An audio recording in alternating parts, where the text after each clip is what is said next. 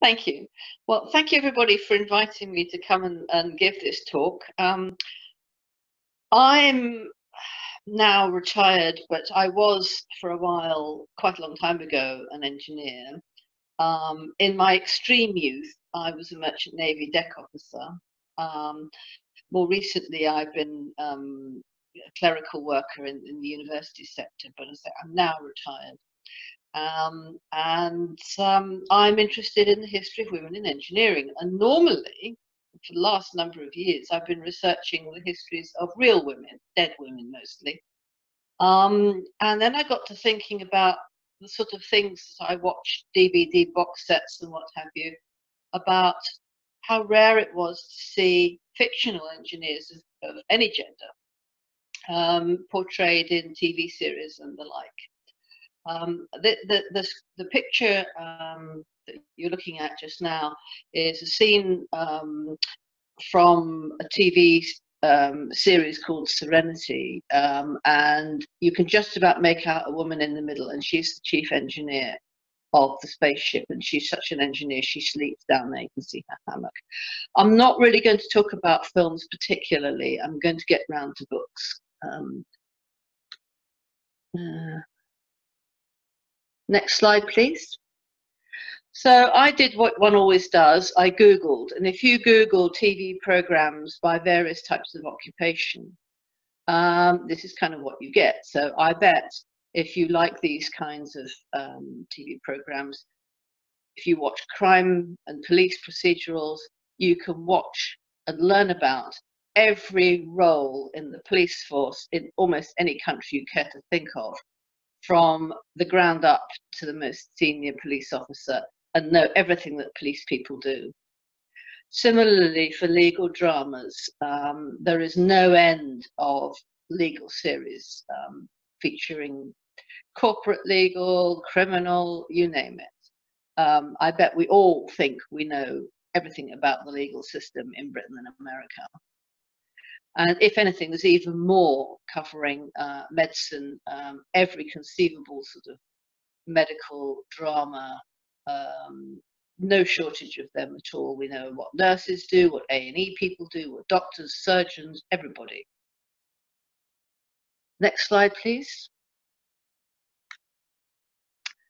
So I then was looking for TV programs um, about science, and that wrote at the top only the one with the red ring round it is a fictional story, um, Battlestar Galactica in this case. I mean, there's lots of science fiction on the telly, obviously, um, but there's very little fiction about scientists other than um, forensic scientists, perhaps in the medical genre. And when you go to look for TV programs about engineering, you don't get offered anything that's fictional at all. It's all non-fiction documentaries and so on. Next slide, please. So the next Google effort was um, for fictional engineers. And this came up with this list on the left, and you probably recognize some of those names. I have to say, I'm not too sure who Buckaroo Banzai is, um, but there we go. Of those um, names, um, Scotty from Star Trek, Tony, Tony Stark from Iron Man, Doctor, and so on, only the two in red are not part of a science fiction um, story. So Q is the um, inventor in, in James Bond, and I consider him to be an engineer sort of person and from quite a long time ago, an American series um, called MacGyver, um, Angus Mac MacGyver, who is somebody that no matter what the situation you put him in, he can um, cobble together some some contraption or other to get him out of the, the tight spot that he's in. And the, the verb to MacGyver something, perhaps more in use in America than here, has come to mean, um, as I say, cobbling together from found items um, some contraption that will help you um, in your tight corner. Um, I then went looking for um, female engineers from science fiction, and there's quite a reasonable list of those because science fiction films, there's quite a number of, of uh, women engineers um, in that genre. So I'm not really going to be covering uh, films this time. The, the, the two bits of a cartoon strip that I'm showing you, for, for those of you of a certain age, you may remember that there was um, a long-running weekly comic for boys and girls called Eagle, um, with the, the, front cover always had um, a story about Dan Dare, space pilot of the future.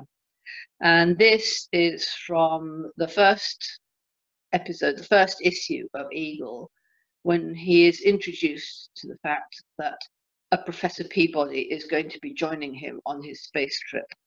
And then everybody is stunned to discover that Professor Peabody is a woman. Gosh, jumping jets, suffering cats, a woman. Um, now, Professor Jocelyn Peabody, um, in the comics, she's basically, she doesn't appear very often actually. She's labeled as special advisor um, to the, the space ministry that oversees Dan Dare. And she goes with him on some of his missions. Interestingly, I've never seen the TV series, but a cartoon TV series was made um, in which she is actually the chief engineer of Dan Dare's spaceship, the Anastasia, which she's said to have designed herself. So I haven't seen that, but somewhere along the line, she gets sort of translated from a general purpose scientist into an engineer. Next slide, please. So these are the sorts of um, genres, different types of um, fiction in which um, I was able to find examples um, of women engineers, fictional women engineers. Now you'll see the tomboy career novels, heroic munition workers, um, incidental engineering and sagas, detectives and science fiction. I thought I would find more novels written during the two world wars or shortly thereafter about munition workers actually I found very, very few um, and was only actually able to buy two out of the, the four that I ever identified. Um, I also discovered, I was quickly sort of stumbling over examples um, in books, um, books written in English about Soviet Russian literature and German literature. Now, I don't read Russian and I almost barely know any German. I did a little bit at school. But the, this was also quite an interesting um, section. I, I had to rely on sort of um, bits of translations quoted in, in other people's books. Next slide, please. So the tomboy. Um, Wikipedia def defines, and I, I think you know, that, that, they may get some pushback from this definition, but this is what they say. A tomboy is a girl who exhibits characteristics or behaviors considered typical of a boy, whatever a boy is. Common characteristics include wearing masculine clothing and engaging in games and activities that are physical in nature and are considered in many cultures to be unfeminine or the domain of boys. Now, I guess I was that child. Um, I, I, was um, born in the 1950s, so I was a, a, child of the 60s largely, and I was definitely a tomboy. I'm not sure if the phrase is even much used now. A book that I really loved, and it sounds a bit girly girl for, for, for somebody with my interest, but I, I loved um, Noel Streatfeild's Ballet Shoes, which is about three orphan girls who are being raised um, in, in some financial difficulty in London. And Petrova, that's the one on the, the, the drawing on the left, is the middle of the three. And she is our tomboy. And I'm going to read you an extract um, from about halfway through the book. Petrova had a thin, pale face with high cheekbones, very different from Pauline's pink and white oval and Posy's round, dimpled look. She was naturally more serious than the others, and so being bored for eight hours each week, that was in the dance classes, did not show on her as it would on them. It was Sundays that saved her. After morning church, she went straight to the garage, put on her jeans, and though only emergency work was really done on Sundays, the foreman always had something ready for her. Very dirty and happy, she would work until they had to dash home for lunch. Afterwards, occasionally, they came back until tea time. then they washed and popped across the road to Lyons. But usually they went on expeditions in the car, and those expeditions were their secret. Petrova never even told the other two about them. The best of them were to the civil flying grounds where they watched planes take off and alight, and often went up themselves. Sometimes they saw some motor car or dirt track races. But Petrova liked the flying Sundays best, although of course she was years too young to fly. In bed, and at her very few odd moments, she studied for a ground license, and although she had never touched a joystick, she knew that when she did, an aeroplane would obey her, just as certainly as Posy knew that her feet and body would obey her. So Petrova was very much in the the, the um, tomboy model, um, and indeed lots of other uh, series of books, like the Enid Blyton books of the same sort of period, generally featured a tomboy girl in the group. Petrova is um, one of the fictional characters that people who write fan fiction really like. Um, there are nearly 40 um, amateur written fan fiction stories featuring Petrova Fossil. In some of them, she's a garage owner, but in most of them, given that the, the book was published just before the Second World War, in most of the books, Petrova becomes one of the women pilots in the Air Transport Auxiliary. And there's quite a number of stories that people have written um, about her carrying on to do that. So that's an example of the tomboy story uh, featuring a girl who likes engineering. Next slide, please.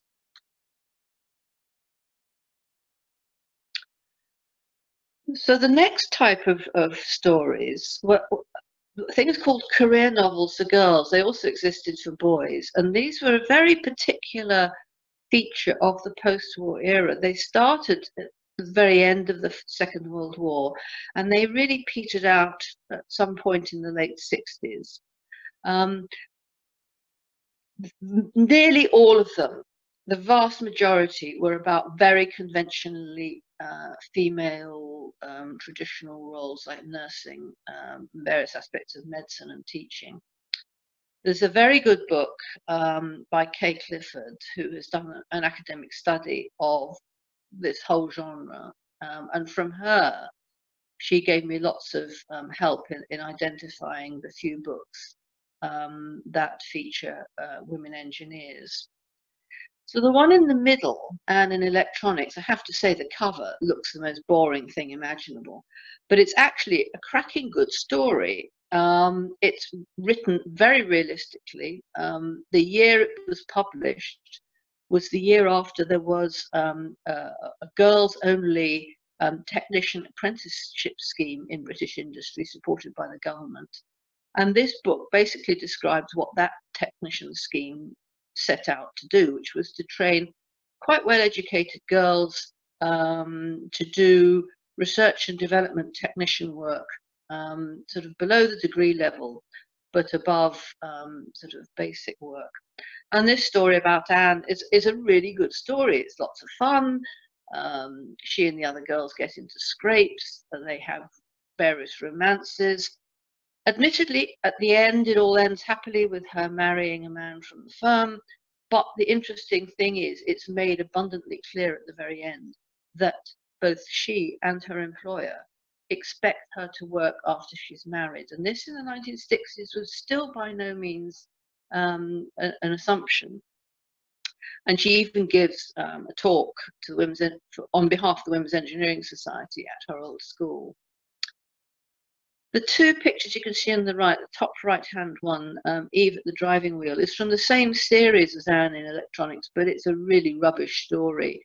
Um, it follows this girl who loves driving, but the opportunities um, that she has for paid driving work are very limited, even by the standards of what was available then. So, for instance, it doesn't even mention that she could have gone into the armed forces and been a driver and they're all things that she gets by people doing her favors. So it's not really such a, um, a promising um, idea of a role model for girls wondering if they could drive for a living. The bottom right hand one is an American book, um, and it's really a coming of age book rather than a career novel. Um, Crazy Mary follows the story of a girl who leaves high school um, and goes to um, college to do a course that her parents want her to do, but she's never really happy. And it's only in the last two pages that she recognizes that um, her maths teacher at high school was right. She does have a head for maths, and what she'd really like to do is engineering. And we leave her just at the point where she's about to go off on a summer vacation uh, with a view to coming back the following year to take her engineering degree. So that's those were the sort of books that were being offered um, as fictional examples for girls in the 1950s and 60s. Um, very, very few um, of them were really challenging what um, normal the conventions were for, for, for girls' careers. Next slide, please. So here we have um, some examples of the heroic munition workers. On the left, we've got Munition Mary, a book I have not been able to buy, but I've been able to see it in the National Library of Scotland.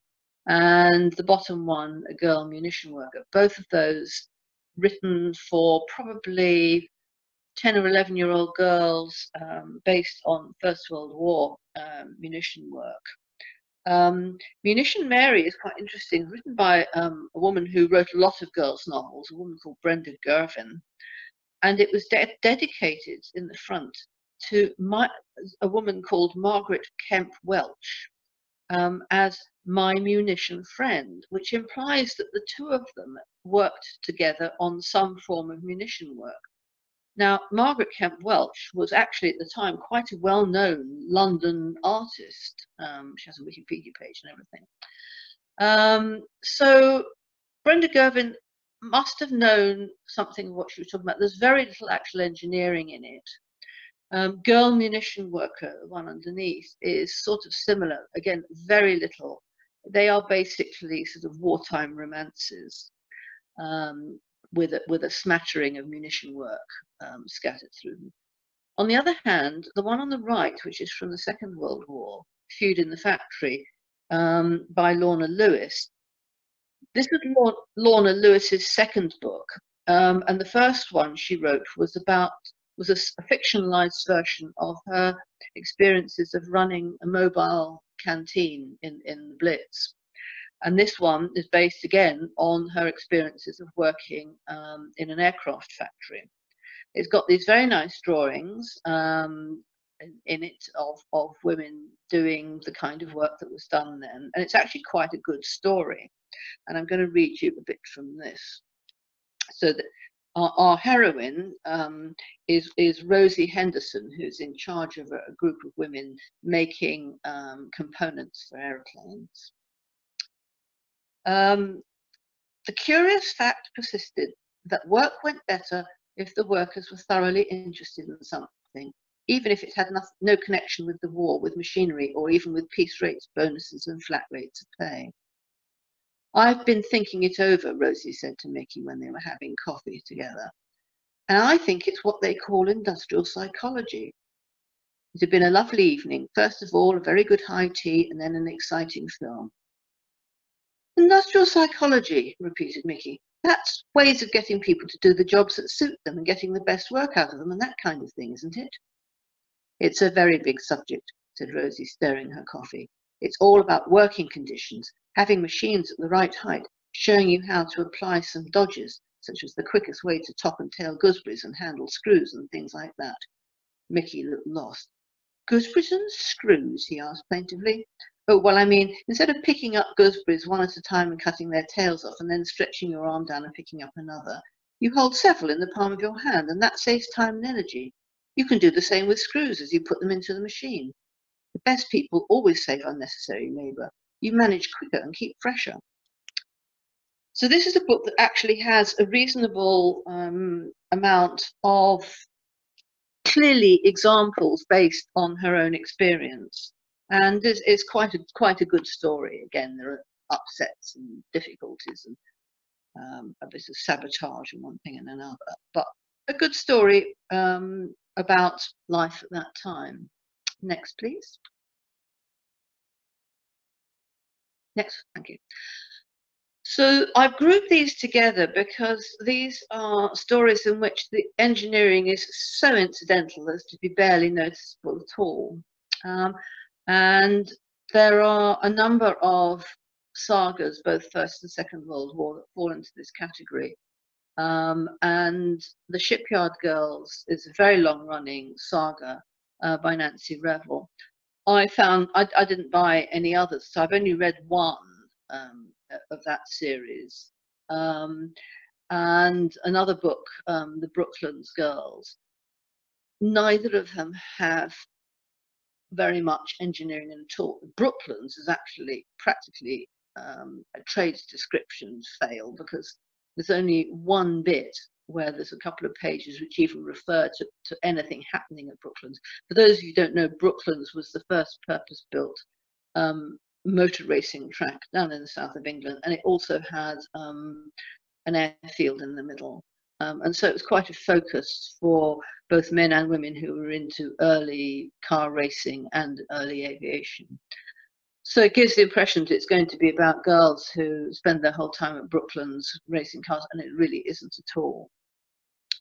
Um, the other book, uh, Courage of the Shipyard Girls, has a little bit more, but not an awful lot. This is your classic saga, a fat book um, about the lives and loves of a group of girls. But here is a little, very short example of one of only two um, episodes where engineering is mentioned. So Rosie, um, I have another Rosie here. Uh, Rosie um, goes into um, her, the female, the lady supervisor's office. The lady supervisor is Helen. Um, Helen says, Will you please sit down? This may take a little time, and I don't want to crane my neck up at you while we discuss what we've got to discuss. Rosie did as she was told and sat herself down. And what is it we have to discuss? Rosie asked, looking round the room. She couldn't believe how organized and tidy it looked. Helen had obviously been spring cleaning. Well, first of all, I'm putting in a big order, and I want to know if you and your squad need anything. I know you were hankering after a new welding machine. Rosie perked up. She was forever fixing the one she had, which was well and truly on its last legs. Well, yes, that would be great if we could. Now, as I say, that's a very little tiny bit of engineering, but it's almost the only mention in the book. So that's what I call incidental.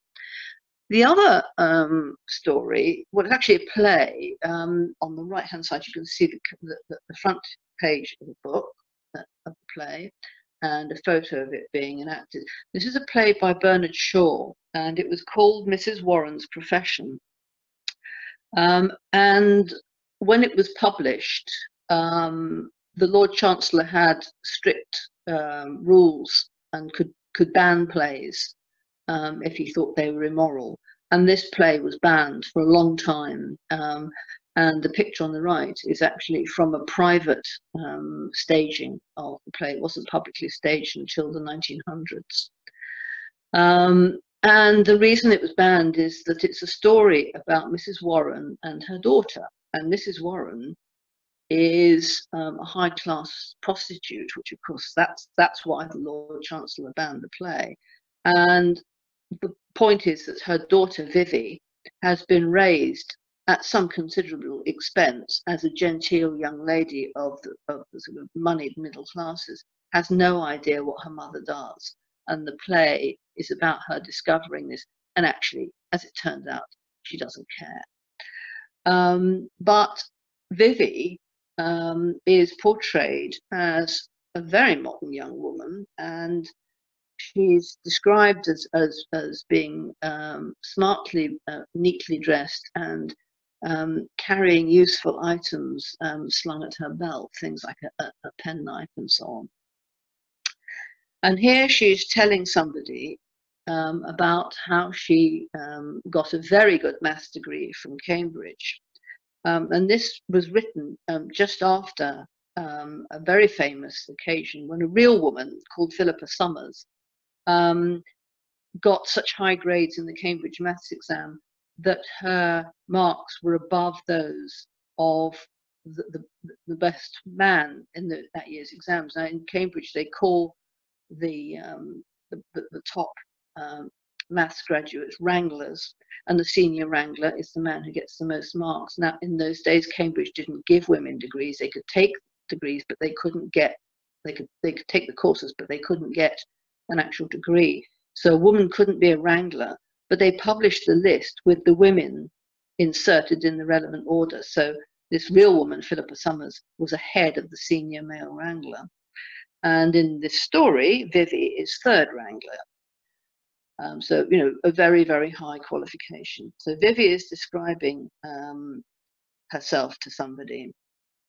My dear Mr. Pride, do you know what the mathematical tripos means? It means grind, grind, grind for six to eight hours a day at mathematics and nothing but mathematics. I'm supposed to know something about science, but I know nothing except the mathematics it involves. I can make calculations for engineers, electricians, insurance companies, and so on, but I really know next to nothing about engineering or electricity or insurance. I don't even really know math arithmetic well. Outside mathematics, lawn tennis, eating, sleeping, cycling, and walking. I'm an ignorant barbarian. So this woman is somebody who works with um, engineers to some extent, but isn't technically an engineer herself. Having said that, a lot of women who took mathematics degrees in the early part of the 19th, the early part of the 20th century went on to become engineers. Um, and I've just recently written a book about a woman who, who did exactly that. Next slide, please.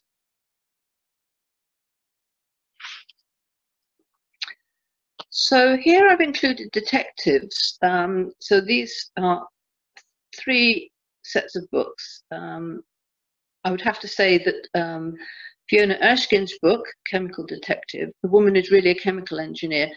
Fiona Erskine is herself a chemical engineer, so she is really writing what she knows about. And this is a woman chemical engineer portrayed in James Bond mode. Um, and it's a cracking good read, and I believe she's written more.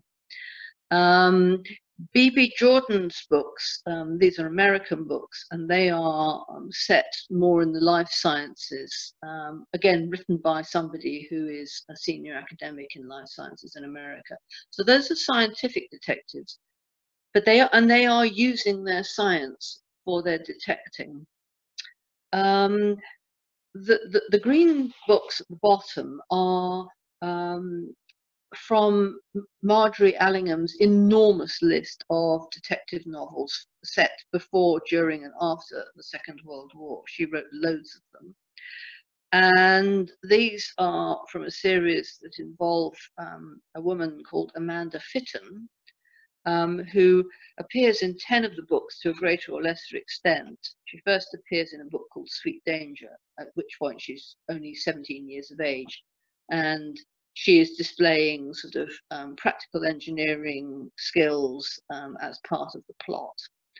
The next story, um, Fashion in Shrouds, is several years later. She's around about 21 years old.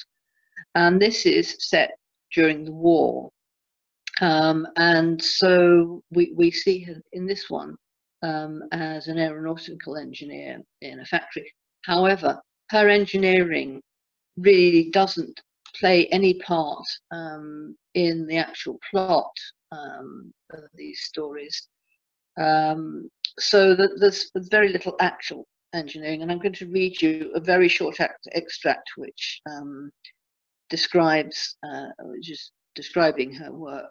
Um, uh, she, she, works with somebody who is a kind of on and off love interest, Albert Campion, who is a, a sort of a gentleman amateur um, detective. And um, Albert um, is wondering how um, she got into um, an airplane, at the airplane factory. What I still don't understand is how you got there, he said. I thought aeroplane works were holies of holies. So they are. Amanda sounded cheerful in the darkness. It took me three and a half years to do it, but I'm a pretty good engineer, you know. I went straight away into the workshops when I got some money. I hadn't a sufficiently decent education to make an ordinary degree, so I had to go to the back. I had to go the back way. My title helped, though, she added honestly. Um, and that explains very briefly that she works in an airplane factory. I have to say, like a lot of uh, detective stories that include upper class people, doesn't actually seem to do a great deal of work. Next slide. So I mentioned that I'd found books um, in Russian and German, and these are some examples. Um, Vicki Baum was a very well-known German author, and she wrote this book called Helene, which was actually made into a film, and it was about um, a chemical, a student of chemistry who becomes a chemical engineer. Again, there is proper actual chemistry in it to a limited extent, but mainly it's um, a long-winded romance. But Vicki Baum was a very well-known person, and other other books of hers became films too. Um, from um, uh, an academic book about um, Soviet fiction, I discovered another woman um, author um, who her real name, she was a real um, real life Soviet engineer. Her real name was Elena Sergeyevna Wenzel. And she wrote under the pseudonym, under the pen name of Irina Grekova, which in Russian, um, I, I Grekova, um, is how they say, um, well, literally Greek Y, um, the Greek letter um, Y. So that's which is a mathematical symbol. Um, she was a professional mathematician who worked in operational research and um, was married to somebody who was very senior in ballistics research. And her most famous um, novel um, about uh, women and engineers was called On Maneuvers, and it's about construction engineer um, Lida Romnich, who um, designs test rigs for ballistics tests. Um, this book cover that I've showed, cathedra, um, that, that the word cathedra is the Greek word for a chair, as in a seat, but in this case, it's a chair as in a professor's um, post at a university, and it's about um, a young woman who is um, a young academic in the science department and her her run-ins with the with the with the grouchy old professor.